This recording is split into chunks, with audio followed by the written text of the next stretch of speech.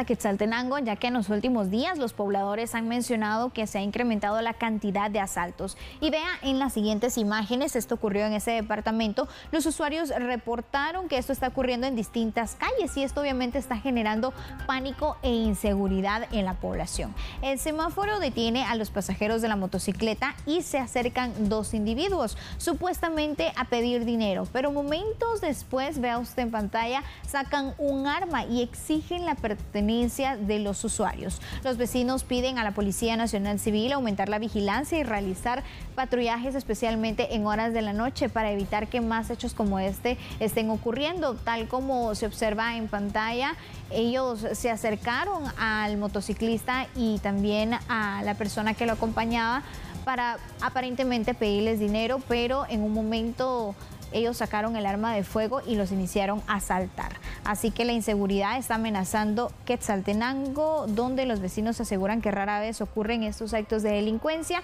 y ya tienen ustedes en pantalla las imágenes. Si usted en dado caso va a circular por las calles de la ciudad altense, tome en cuenta que es así, de esta forma como están operando los delincuentes en ese lugar. Y ahora veo